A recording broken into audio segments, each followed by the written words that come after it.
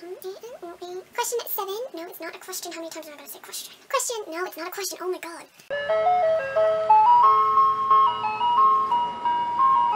Hey guys, it's Jay and I'm here with the Disney Princess tag.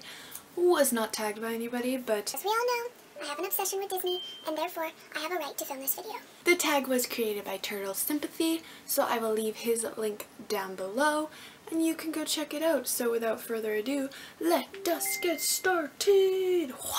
Number one is Anna and Elsa, and it is a book that involves siblings. I'm going with Daddy by PJ Ferguson. It involves twins. It is such a good book. I'll leave my January wrap up down below so you guys can see what I thought of the book. It's so good. Read the book. PJ is such a good writer. Two is a Rapunzel and it is a book that left you emotional. And I'm going with Slammed by Colleen Hoover. I have a review of this book as well. Shameless promotion. Click the card. That's two in the first like 30 seconds of the video. I cried three times at this book, which is extremely rare for me because I don't cry at books. So the fact that it made me cry three consecutive times is very impressive. Good job, Colleen Hoover. Three is Merida, and it is a book that features a female warrior, and I am going with Throne of Glass by Sarah J. Maas. I have not read this book. I've had it on my shelf forever, but it has Selena, I always call her Selena, but that's not her name. But she's a female warrior, assassin, badass bitch. And then four is Tiana, a book that features realistic struggles, and I am going with Anna and the French Kiss by Stephanie Perkins. You know, the struggle of liking a boy, but that boy has girlfriend. What do you do? You struggle. And that's what Anna does. Five is Belle, and it is a literary book or a classic. I'm going with To Kill a Mockingjay by Harper Lee. I love this book. I read it in like grade 10 English class and it was really good. It's a classic and therefore it is Belle. Six is Pocahontas and it is a nature book or a book written by a naturalist. I don't have one of these, so Point of Retreat by Colleen Hoover because butterfly. It counts. Seven is Jasmine, a book about the desire to be free. I'm going with Stolen by Lucy Christopher. It's all about Stockholm Syndrome and basically the main character wants to be free from her stalker kidnapper person and therefore desire to be free. Eight is Mulan and it is a book featuring war or battle.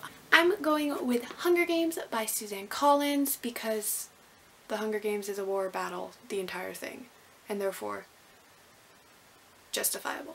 Nine is Ariel, and it is a book featuring curiosity or learning, and I'm going with Reconstructing Amelia by Kimberly McCreight. It's a thriller about a mother who doesn't believe that her daughter's death was an accident, and it's basically her curiosity of finding out what actually happened to Amelia. It was a really good book. It's one of my favorite books. I gave it like a 5 out of 5 stars. It's, read this book. It's real good. 10 is Cinderella, and it is a book featuring manual labor. I'm going with Keep Sweet by Michele Dominguez Greene. I can't say that middle name. It's about the Amish. It's not really about the Amish, it's just like an Amish community where the story takes place. But I'm counting it as manual labor.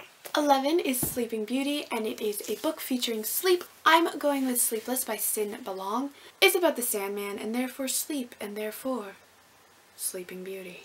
12 is Snow White, and it is a book featuring one of the seven deadly sins. And I'm going with The Duff by Kody Keplinger because it is my guilty pleasure and therefore counts. 13 is Megara, and it is a book that features Greek mythology, and I don't know one of those, so here's my Roman textbook. 14 is Alice, and it is a book that features nonsense or another world that is not this one. And I'm going with Elsewhere by Gabrielle Zevin because basically what happens is you go into this elsewhere when you die, and it is a whole nother world where you age backwards until you're reincarnated, and I think that sounds really cool, and that's not usual. So it's unusual, and it's a different world. Hit both nails on the head. Oh yeah. 15 is A Maid Marian, and it is a book that features a canine. I'm going with Dust City by Robert Paul Weston. It's a Little Red Riding Hood retelling kind of thing, and the main character is a wolf, and therefore canine, and therefore answers the question. Boom. This was a really good book too.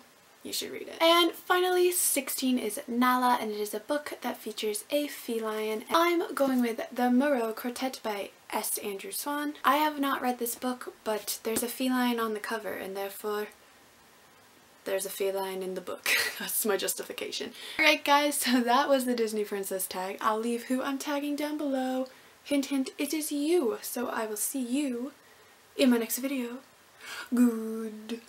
Bye. I forgot the name of this book. Cynthia. Nope, not Cynthia. Cyn Balong.